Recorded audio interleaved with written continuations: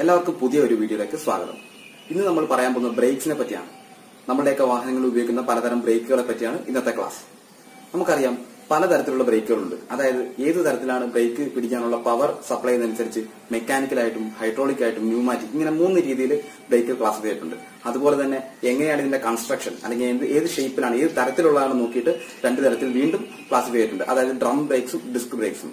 Mechanical brake ഇന്ന് ഏത് ഒരു വാഹനങ്ങളിലും അധികം ഉപയോഗിക്കാറില്ല. അതൊക്കെ പഴയ വാഹനങ്ങളിൽ ഉപയോഗിച്ച് വന്നിരുന്നതാണ് മെക്കാനിക്കൽ ബ്രേക്സ്. പിന്നുള്ളത് ഹൈഡ്രോളിക് ബ്രേക്സ് ഇതാണ് ഒരുവിധപ്പെട്ട എല്ലാ വാഹനങ്ങളും ഇന്നത്തെ കാലത്ത് ഉപയോഗിക്കുന്നത്. പിന്നുള്ളത് ന്യൂമാറ്റിക് ബ്രേക്സ് അഥവാ എയർ ബ്രേക്സ് ഇത് ഏകദേശം വലിയ വലിയ ട്രക്കുകളിലൊക്കെയാണ് ഉപയോഗിച്ച് വരുന്നത്. അപ്പൊ ഇന്ന് കോമൺ ആയിട്ട് ഉപയോഗിക്കുന്ന ബ്രേക്സ് ആണ് ഹൈഡ്രോളിക് ബ്രേക്സ് ഈ ഹൈഡ്രോളിക് ബ്രേക്സിന് തന്നെ ഡിസ്ക് ബ്രേക്കിനെയും ഡ്രം ബ്രേക്സിനെയും പറ്റിയാണ് നമ്മൾ ഇന്നത്തെ ക്ലാസ്സിലൂടെ പറയാൻ ഉദ്ദേശിക്കുന്നത്. നമുക്ക് ഡ്രം ബ്രേക്സിൽ നിന്ന് തുടങ്ങാം. ഈ ബോർഡിൽ കാണുന്നതാണ് ഒരു ഡ്രം ബ്രേക്കിന്റെ ചിത്രം. അതായത് ഈ പുറമെ ഈ വലിയ സർക്കിളാണ് ബ്രേക്ക് ഡ്രം എന്ന് പറയും. ഇതൊരു സർക്കിളി ഷേപ്പിലുള്ള ഒരു ഡ്രമ്മാണ് ഇതിനുള്ളിലാണ് ബാക്കി കമ്പോണൻസ് വെച്ചിരിക്കുന്നത്. എങ്ങനെയാണ് ബ്രേക്കിംഗ് നടക്കുന്നതെന്ന് ഞാനൊന്ന് സിമ്പിൾ ആയിട്ട് പറയാം. അതായത് ഈ ഡ്രമ്മുകൾ വീലുകളുമായിട്ട് അറ്റാച്ച്ഡ് ആയിരിക്കും. വീലുകൾ കറങ്ങുന്ന സമയത്തെല്ലാം ഈ ഡ്രമ്മും അതേ സ്പീഡിൽ കറങ്ങിക്കൊണ്ടിരിക്കുന്നു. അപ്പൊ നമുക്ക് വാഹനം ബ്രേക്ക് ചെയ്യുന്ന സമയത്ത് ഈ ഡ്രമ്മുകളുടെ ചലനം അല്ലെങ്കിൽ ഡ്രമ്മുകളുടെ റൊട്ടേഷൻ പിടിച്ചു നടത്തണം. അതിനായിട്ടാണ് ഇതിന്റെ ഉള്ളിലായി രണ്ട് ബ്രേക്ക് ഷൂസ് ഇങ്ങനെ ഘടിപ്പിച്ചിരിക്കുന്നത്. നിങ്ങൾക്ക് ചിത്രത്തിൽ കാണാം. രണ്ട് ബ്രേക്ക് ഷൂസ് രണ്ട് സൈഡിലുമായിട്ട് വെച്ചിട്ടുണ്ട്. ഈ ബ്രേക്ക് ഷൂസ് വീൽ ഡ്രമ്മുമായിട്ട് വന്ന് മുട്ടുമ്പോഴാണ് വീൽ ഡ്രമ്മിന്റെ റൊട്ടേഷൻ നിൽക്കുന്നതും അതുവഴി വീലുകൾ സ്റ്റോപ്പ് ആവുന്നതും. അപ്പം ഇതാണ് ബ്രേക്കിംഗിന്റെ പ്രിൻസിപ്പൾ ഡ്രം ബ്രേക്കിൽ ഇനി ഇതിന്റെ കമ്പോണൻസിനെ പറ്റി പറയാം. ആദ്യമേ പറഞ്ഞു ബ്രേക്ക് ഡ്രം ഉണ്ട് അതിന്റെ ഉള്ളിൽ രണ്ട് ഷൂസ് ഉണ്ട്. ഈ ബ്രേക്ക് ഷൂവും ബ്രേക്ക് ഡ്രമ്മുമായിട്ട് കോണ്ടാക്ട് ചെയ്യുന്ന ഭാഗത്തെയാണ് ബ്രേക്ക് ലൈനിങ് എന്ന് പറയുന്നത്. ഇതൊരു ഫ്രിക്ഷണൽ കോണ്ടാക്ട് ആണ്. അതായത് ഈ ബ്രേക്ക് ഷൂസ് ബ്രേക്ക് ഡ്രമ്മുമായി കോണ്ടാക്ട് ചെയ്യുന്ന ഭാഗമാണ് ബ്രേക്ക് ലൈനിങ്. ഇനി ഈ രണ്ട് ബ്രേക്ക് ഷൂസിന്റെ നടുവിലായി ഒരു സിലിണ്ടർ കാണാം. വീൽ സിലിണ്ടർ എന്ന് പറയും. നമുക്കറിയാം ഹൈഡ്രോളിക് ബ്രേക്സിൽ രണ്ട് സിലിണ്ടറാണ് ഉണ്ടാവുക.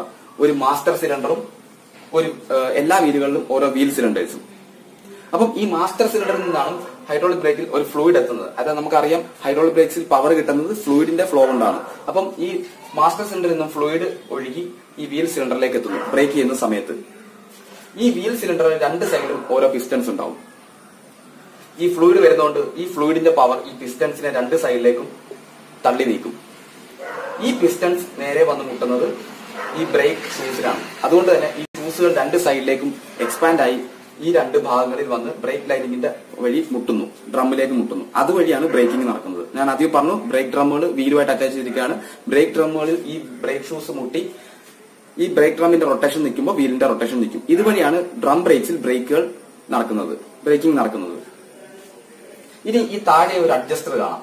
അതായത് ഈ ബ്രേക്ക് ഷൂസിന്റെ മുകളിലത്തെ സിലിണ്ടർ വീൽ സിലിണ്ടറിലാണ് കണക്ട് ചെയ്തിരിക്കുന്നത് താഴത്തെ ഒരു ആങ്കർ എന്ന് പറഞ്ഞ സംഭവം. ഇത് മൊത്തമായിട്ട് പറയുന്നതാണ് ആങ്കർ ഇത് രണ്ട് എൻഡുകളും പിവറ്റ് ചെയ്തേക്കാണ്. നടുക്ക് ഒരു അഡ്ജസ്റ്റർ ഉണ്ട്. അതായത് ഈ ബ്രേക്ക് ഷൂവിന്റെ ഡിസ്റ്റൻസ് അഡ്ജസ്റ്റ് ചെയ്യാൻ വേണ്ടിയുള്ളതാണ് ഈ അഡ്ജസ്റ്റർ ഈ രണ്ട് പിവറ്റ് ജോയിന്റ്സും ഉണ്ട് ഇവിടെ. ടൈപ്പാണ് ഡിസ്ക് ബ്രേക്സ് ഡിസ്ക് ബ്രേക്സിന്റെ ചിത്രമാണ് ഞാൻ ഈ ബോർഡിൽ വരച്ചിരിക്കുന്നത്. ഇതെല്ലാം നമ്മൾ ബൈക്കുകളിലൊക്കെ നമുക്ക് എളുപ്പം കാണാൻ സാധിക്കും. ഇപ്പൊ ഒരുവിധപ്പെട്ട ബൈക്കുകളിലെല്ലാം ഡിസ്ക് ബ്രേക്സ് വന്നു കഴിഞ്ഞു. കാറുകളിലൊക്കെ മുമ്പേ വന്നു കഴിഞ്ഞു ഡിസ്ക് ബ്രേക്സ് അപ്പൊ നമുക്ക് ബൈക്കുകളിൽ പെട്ടെന്ന് കാണാൻ പറ്റും. ഇതാണ് ഒരു ഡിസ്ക് ബ്രേക്കിന്റെ സൈഡ് വ്യൂ സൈഡ് വ്യൂ നോക്കുമ്പോൾ ഒരു ഡിസ്ക് കാണാം. ഇതുപോലെ ഒരു ബ്ലാക്ക് കളറിലെ ഒരു സെക്ഷനും കാണാം. ഇതാണ് കാലിപ്പർ എന്ന് പറയും ഈ സെക്ഷൻ ഇതിങ്ങനെ ഒരു ഡിസ്ക് ഇതിങ്ങനെ വീലിനോടൊപ്പം അറ്റാച്ച്ഡ് ആണ്. അതുകൊണ്ട് വീലുകളുടെ ഒപ്പം തന്നെ നമ്മുടെ നേരത്തെ ഡ്രം പറഞ്ഞ പോലെ വീലുകളുടെ ഒപ്പം തന്നെ ഈ ഡിസ്കും കറങ്ങിക്കൊണ്ടിരിക്കുകയാണ്. ഡിസ്കുകൾ എപ്പോൾ നിൽക്കുന്നു അതനുസരിച്ചാണ് ബ്രേക്കിംഗ് നടക്കുന്നത്.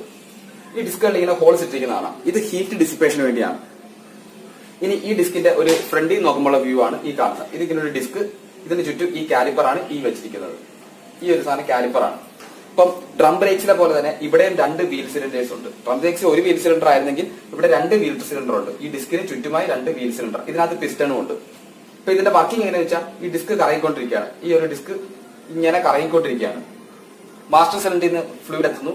ഈ ഫ്ലൂയിഡ് നേരെ ഈ രണ്ട് വീൽ സിലിണ്ടേഴ്സ് എത്തുന്നു. ഈ ഫ്ലൂയിഡിന്റെ പവർ കാരണം ഈ വീൽ ഉള്ള രണ്ട് പിസ്റ്റൺസ് ഇങ്ങനെ ഇൻവേർഡ് ആയിട്ട് മൂവ് ചെയ്യുന്നു. അതായത് ഈ ഫ്ലൂയിഡിന്റെ പ്രഷർ കാരണം ഈ രണ്ട് വീൽ സിലിണ്ടേഴ്സ് ഇൻവേർഡ് ആയിട്ട് മൂവ് ചെയ്യുന്നു. ഈ വീൽ സിലിണ്ടേഴ്സുമായിട്ട് അറ്റാച്ച് ചെയ്തിരിക്കുന്ന രണ്ട് ബ്രേക്ക് പാഡ്സ് അതായത് ഈ വീൽ സിലിണ്ടറിന്റെ ഈ- ഭാഗങ്ങളിലായി രണ്ട് ബ്രേക്ക് പാഡ്സ് കാണാം. ഇതും ഫ്രിക്ഷൻ കോണ്ടാക്ടിന് വേണ്ടിയാണ്. അപ്പം ഈ വീൽ സിലിണ്ടർ മൂവ് വീൽ സിലിണ്ടറിന്റെ അകത്തുള്ള പിസ്റ്റൺ മൂവ് ചെയ്യുന്നതനുസരിച്ച് ഈ ബ്രേക്ക് പാഡ്സ് അടുത്ത് വന്ന് ഈ ഡിസ്കിലേക്ക് അറ്റാച്ച് ആവും. ഡിസ്കിലേക്ക് കോണ്ടാക്ട് വരുമ്പോഴാണ് ബ്രേക്കിംഗ് സംഭവിക്കുന്നത്. അപ്പം എല്ലാവർക്കും മനസ്സിലായെന്ന് വിചാരിക്കുന്നു. മാസ്റ്റർ സിലിണ്ടർ ഫ്ലൂയിഡ് എത്തുന്നു. ആ ഫ്ലൂയിഡ് നേരെ രണ്ട് വീൽ സിലിണ്ടർ എത്തുന്നു. ഈ ഫ്ലൂയിഡിന്റെ പ്രഷർ കാരണം ഈ വീൽ സിലിണ്ടർ ഉള്ള രണ്ട് പിസ്റ്റൻസ് ഇൻവേർഡ് ആയിട്ട് മൂവ് ചെയ്യുന്നു. അങ്ങനെ ഈ രണ്ട് ബ്രേക്ക് പാഡ് രണ്ട് സൈഡിലുള്ള രണ്ട് ബ്രേക്ക് പാഡ്സ് ഡിസ്കിൽ വന്ന് മുട്ടുമ്പോഴാണ് ബ്രേക്കിംഗ് സംഭവിക്കുന്നത്. ഇനി എന്തൊക്കെയാണ് ഡിസ്ക് ബ്രേക്കിന്റെ അഡ്വാന്റേജ് നോക്കാം. അതായത് നമുക്കറിയാം ഇന്ന് ഞാൻ ആദ്യമേ പറഞ്ഞു ഡിസ്ക് ബ്രേക്സ് ആണ് ഒരുവിധപ്പെട്ട മോട്ടോർ സൈക്കിളൊക്കെ ഇപ്പൊ കാണുന്നത്. ചിലയിടത്തൊക്കെ ഫ്രണ്ട് ഡിസ്കും ബാക്ക് ഡ്രമ്മുമായിട്ട് ഉപയോഗിക്കുന്നു. ഇനി കാറുകളിലൊക്കെ നേരത്തെ ഡിസ്ക് ബ്രേക്ക് വന്നിരിക്കുന്നു. അതിലും ഇതുപോലെ ഉപയോഗിക്കാറുണ്ട്. ഫ്രണ്ടിലെ ഡിസ്കും ബാക്കിൽ ഡ്രമ്മുമായിട്ട്. ഇപ്പം ഒരുവിധപ്പെട്ട കാറുകളിലൊക്കെ നാല് വീലും ഡിസ്ക് ആയിരിക്കുകയാണ് അതുപോലെ തന്നെ ബൈക്കുകളിൽ രണ്ട് വീലുകളിലും ഡിസ്ക് ബ്രേക്ക് ആയിരിക്കണം. അപ്പം എന്തോ എന്താണ് ഈ ഡിസ്ക് ബ്രേക്കിന്റെ ഗുണം എന്ന് വെച്ച് ആദ്യം തന്നെ ബെറ്റർ ഹീറ്റ് ഡിസ്പേഷൻ ഞാനിവിടെ പറഞ്ഞു ഡിസ്ക് ബ്രേക്സ് എപ്പോഴും ഓപ്പൺ ആയിട്ടാണ് വെച്ചിരിക്കുക. ഡയറക്റ്റ് എയർ അടിക്കുന്നുണ്ട്. അതുകൊണ്ട് തന്നെ ഹീറ്റ് അധികം ചൂടാവില്ല പെട്ടെന്ന്. ട്രം ബ്രേക്സ് ക്ലോസ്ഡ് ആയതുകൊണ്ട് അതിനകത്ത് ഹീറ്റ് ഈ ബ്രേക്ക് ഡ്രം ഒരേന്നനുസരിച്ച് ഹീറ്റ് ഉണ്ടാവും. ഇപ്പൊ ഈ ഹീറ്റ് ഒരുപാട് പ്രശ്നങ്ങൾ ഉണ്ടാക്കുന്നുണ്ട്. ബ്രേക്കിംഗ് കുറയാനൊക്കെ സാധ്യം കാരണമാകുന്നുണ്ട്. അപ്പൊ ഈ ഡ്രം ബ്രേക്സിൽ അങ്ങനത്തെ പ്രശ്നമില്ല. ബെറ്റർ ഹീറ്റ് ഡിസ്പേഷൻ നടക്കുന്നുണ്ട്. അതുപോലെ തന്നെ ലൈറ്റ് വെയിറ്റ് ആണ് ഈ drum brakes sorry disc brakes light weight ആണ്. വെയിറ്റ് ഇല്ല. പിന്നെ അതുപോലെ തന്നെ ഏറ്റവും പ്രധാനപ്പെട്ട ഒരു അഡ്വാന്റേജ് എന്ന് പറഞ്ഞു കഴിഞ്ഞാൽ ഇതിന് മെയിന്റനൻസ് എളുപ്പമാണ്. അതായത് ബൈക്കിന്റെ ഒക്കെ ഡിസ്ക് ബ്രേക്കുകൾ നമുക്ക് ആർക്കും ഒരു സാധാരണക്കാരന് പെട്ടെന്ന് അഴിച്ചെടുക്കാൻ പറ്റും റിപ്പയർ ചെയ്യാൻ പറ്റും. ബ്രേക്ക് പാഡ് മാറുന്നതൊക്കെ വളരെ എളുപ്പമാണ്. പക്ഷേ അതിനനുസരിച്ച് ഡ്രം ബ്രേക്സിൽ ഇതെല്ലാം ഡ്രം ഒക്കെ അഴിച്ച് അങ്ങനെ ബുദ്ധിമുട്ടാണ്. അപ്പൊ മെയിന്റനൻസ് കുറവാണ്. മെയിന്റനൻസ് കുറവ് മീൻസ് മെയിന്റനൻസ് എളുപ്പമാണ് ഈ ഡിസ്ക് ബ്രേക്സിൽ അപ്പം ലൈറ്റ് വെയിറ്റ് ആണ് മെയിന്റനൻസ് മെയിന്റനൻസ് എളുപ്പമാണ്. അതുപോലെ തന്നെ ബെറ്റർ ഹീറ്റ് ഡിസിപ്പേഷൻ ഉണ്ട്. അതൊക്കെയാണ് ഈ ഡിസ്ക് ബ്രേക്കിന്റെ ഗുണങ്ങൾ. ഇനി ഡിസ്ക് ബ്രേക്കിന്റെ ചെറിയ ചില ഡിസഡ്വാന്റേജിനെ പറ്റി നമ്മൾ പറയുകയാണെങ്കിൽ ഈ ഡിസ്കുകൾ ഓപ്പൺ ആയിട്ടിരിക്കുകയാണ്. അപ്പൊ കല്ലും അത് അങ്ങനത്തെ എന്തെങ്കിലും കാര്യങ്ങൾ കൊണ്ട് ഇതിന് കേടുപാട് സംഭവിക്കാനുള്ള ചെറിയ ചാൻസ് ഉണ്ട്. അപ്പൊ അതാണ് മെയിൻ ആയിട്ട് ഈ ഡിസ്ക് ബ്രേക്കിന്റെ ഒരു ഡിസഡ്വാന്റേജ് പറയുന്നത്. അപ്പൊ നിങ്ങൾക്ക് ഇതിനെപ്പറ്റി മനസ്സിലായി എന്ന് വിചാരിക്കുന്നു. ഇനി അടുത്തൊരു എപ്പിസോഡിൽ ഈ മാസ്റ്റർ സിലിണ്ടറിനെ പറ്റി നമ്മൾ വിശദമായിട്ട് പറയാം. അപ്പം എല്ലാവർക്കും വീഡിയോ ഇഷ്ടപ്പെട്ടെങ്കിൽ ലൈക്ക് ചെയ്യുക സബ്സ്ക്രൈബ് ചെയ്യുക.